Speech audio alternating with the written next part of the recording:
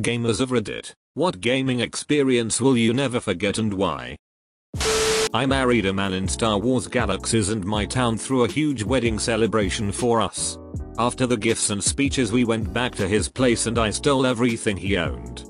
In actuality I was a 13 year old boy posing as a lady and my buddy was the wedding planner and convinced the town to make sure to bring gifts. He even got paid by the town.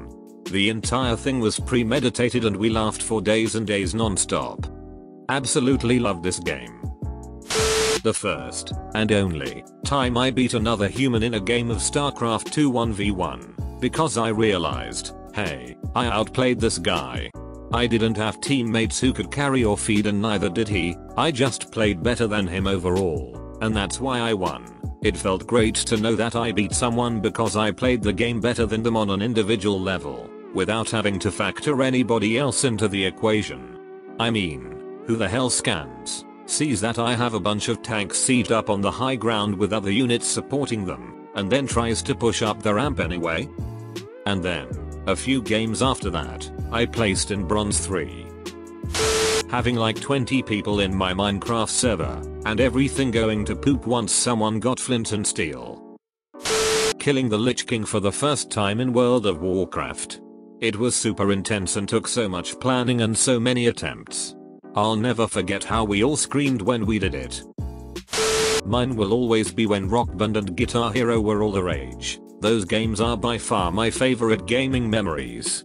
All of my friends huddled around a TV in the basement with our shitty plastic instruments rocking out and having a good time. There hasn't been a co-op experience like them since and probably never will be again. I miss those games so much. First time playing Skyrim. The first time seeing that opening scene was pretty exciting. Also, being murdered by townspeople because I killed a chicken a short while later. First time playing Skyrim was like nothing I've ever experienced before. I felt like I could do anything, go anywhere, and in my own way. I don't know if I'm ever going to feel the same sense of wonder and exploration I felt the first time I played Skyrim. The first 20 minutes of The Last of Us. This ducking game gets you instantly invested in a few characters within a ridiculously short time and then subsequently breaks your heart harder than any game ever broke it before. Also the first hour of God of War. The boss fight with the stranger is quite possibly the greatest thing I've ever experienced in a video game to date. Hopping into my favorite server on Counter Strike Source, no matter what time of day, and always seeing a familiar face that just wanted to chill while fragging. No one cared about doing well, just rather getting to hang out with like-minded people. It's always something that I felt was missing from CS. Go. Sure you can queue matchmaking with friends, but the decline of private servers took away that central hub that everyone could join. First time getting to Hyrule Field in Ocarina of Time. The kids today that grew up with 3D open world games have no idea just how mind blowing it was when it was new. Learning the big secret of Star Wars, Knights of the Old Republic about your main character for the first time.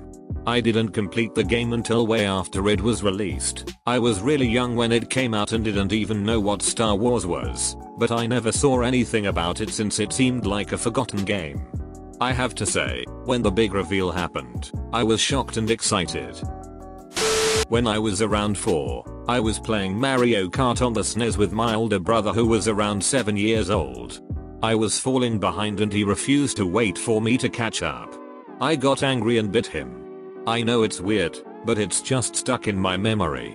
That was the first and last time I bit someone and it was over a video game. Riding into Mexico in Red Dead Redemption. The music comes in at it's absolutely perfect.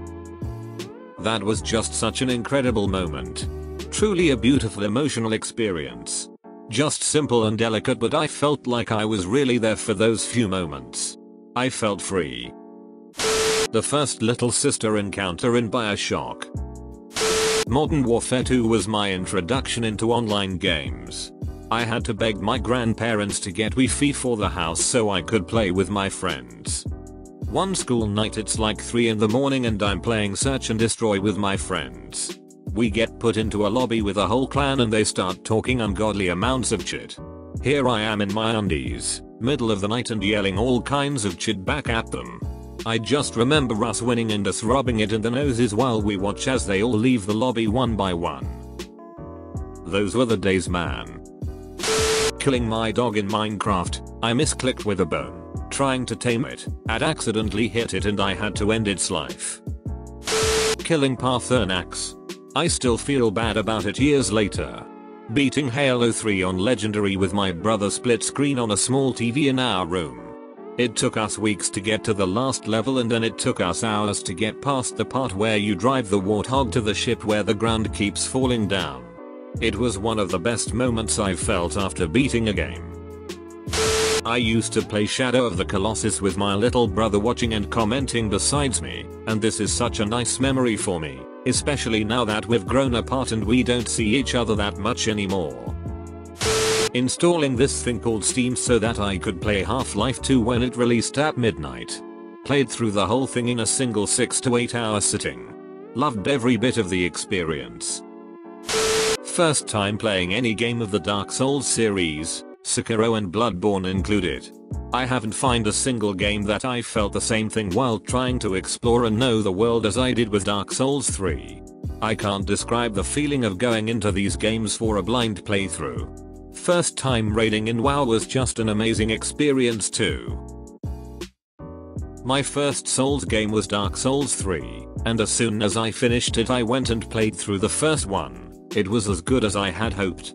And with Sekiro being so damn amazing I now will buy pretty much anything from Software sells because they are one of the few game developers who can consistently make masterpieces and nail it every time.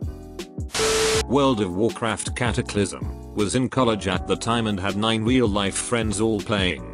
We had a 54 hour Skype call that at least 2 of the 9 people were on constantly. I would say the days me and my friends played through the entirety of Borderlands 2 I honestly would never play through the game alone, as it isn't really my type of game.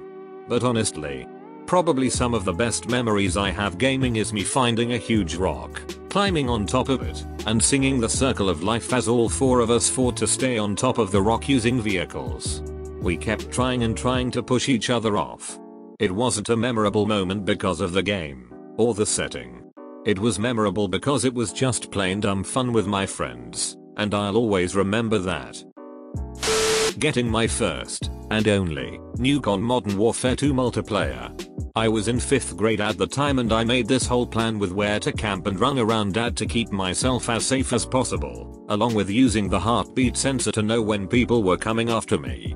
I essentially sat at the enemy spawn for the entire match of domination, and when I ran out of ammo in my primary gun there was only around 30 seconds left in the match so I ran out into the middle of the map. I started getting shot when I turned a corner and ran straight at the guy and knifed him. I immediately died after, but that one last kill was all I needed as I got the nuke and called it in. The Psycho Mantis fight of Metal Gear Solid. Snake plug your controller into the second controller port. Nowadays, such a thing would be considered trite or a cute gimmick at best, but for the time period when it came out, 1998, and the first time I played it, I was probably about 10 or 12 at the time. It was mind blowing. For people who don't know what I'm talking about, in the first Metal Gear Solid on PlayStation, and later ported to GameCube, there's a boss you end up fighting called Psycho Mantis, he claims to be a true psychic and proves it to you by saying things like I'll make your controller move through sheer force of will and then causing it to vibrate. He comments on other games you've played, reading your memory card, makes you think he's turned off the game by doing the default input screen. And even avoids all of your attacks until an ally calls and tells you to plug your controller into the second controller port. It was amazing. When I grew up we always had that sort of kitty computer which wasn't all bad but installing a game was always kind of a jeopardy. It just might not work. So back in 2005, World of Warcraft had finally gotten traction and the news had begun reporting about the online sensation. People were discussing how big it actually were and the possibilities it offered. So at Christmas, I finally got it. I was overjoyed and couldn't wait to get home and plug it in. For those who doesn't remember, it had 5 or 6 disks, which meant 5 or 6 chances of something ducking up for my PC. As far as I remember, it took about 8 hours to install with me constantly leaping in the check on it and change CDs. But then, just around dinner time, it finally finished and the old screen of the giant portal appeared. The next year also would be completely dedicated to that game. But I'll never forget that certain kind of curiosity and wonder that WoW brought me on that first encounter. Have your own gaming experience that you will never forget? Leave it in the comments section below. Thanks for making it to the end of the video. If you liked it, be sure to leave a like. And if you're new to the channel, feel free to subscribe. See you guys next time.